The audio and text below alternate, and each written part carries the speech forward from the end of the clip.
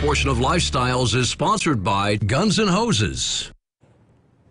And welcome back to Local Lifestyles, everyone. You just saw we are talking guns and hoses right now, and it is almost time for that uh, very popular uh, local tri state event right here in Evansville. Charity boxing match between local firefighters and police officers. And with us right now, uh, we've got a couple from the EFD and the EPD, Mike Doran and uh, Kelly Yard. How are you guys this morning? Good. Good. Doing good, doing good. We are super excited to have you here, and we're just a little over a week away now. Can you believe it's almost here?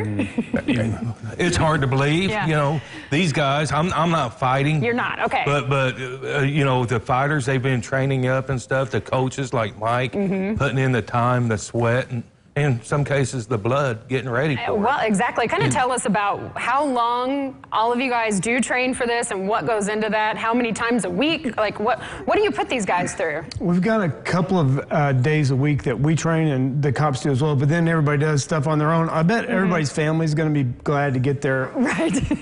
their people back. yeah. Yeah.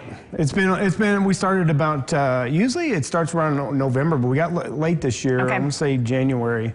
But still, People- months. People have lost a lot of weight, some mm-hmm. blood. It's How been a good many how many fights are there going to be this year? Fifteen. 15 fights. Is that about normal? I mean, or does it continue to grow or does yeah, it fluctuate? yeah. Some people complain if it gets too long. Right. Um, it depends on how short the fights are sometimes. Right. Well, that's true. Yeah, it kind of kind of depends. But that's that seems like uh, quite the number. So this is not this weekend, but next weekend, next Saturday. Correct. Starts at seven o'clock. Um, You tell everybody there how early. you want to get there early. You can still get tickets. Yes. Okay. Yes. But even if you have tickets, you want to get there you early. want to get there early. You get the opening ceremonies, which is spectacular Yeah. every year. Okay. It's hard to top the year before.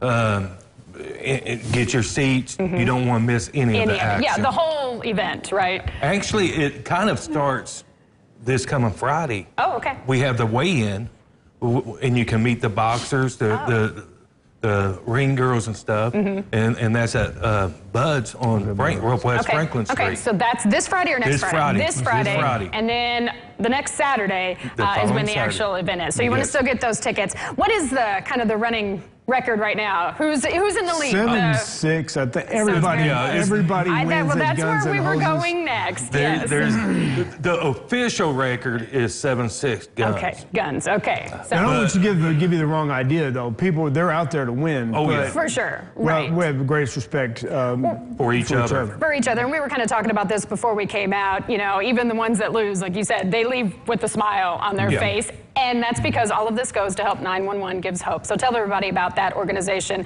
and how much you guys have given to them over the years. Oh, we over the years we've collected over two million dollars. $2 Have given out Right. over two million dollars over the years. It's local special needs, uh, local kids charities, Right. Focusing on special needs, uh, police and fire.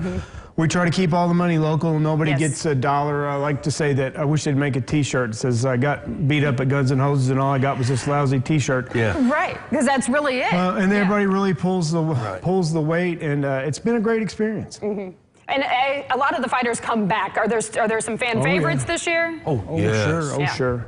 We got a lot of experience on the uh, hoses team this Okay. year. Um, we've got uh, one guy's had 14. This will be his 14th Guns and Really? Hoses fight. Um, Yes. We've got a two-time Indiana Golden Gloves champ who's fighting on the hoses side. Mm-hmm.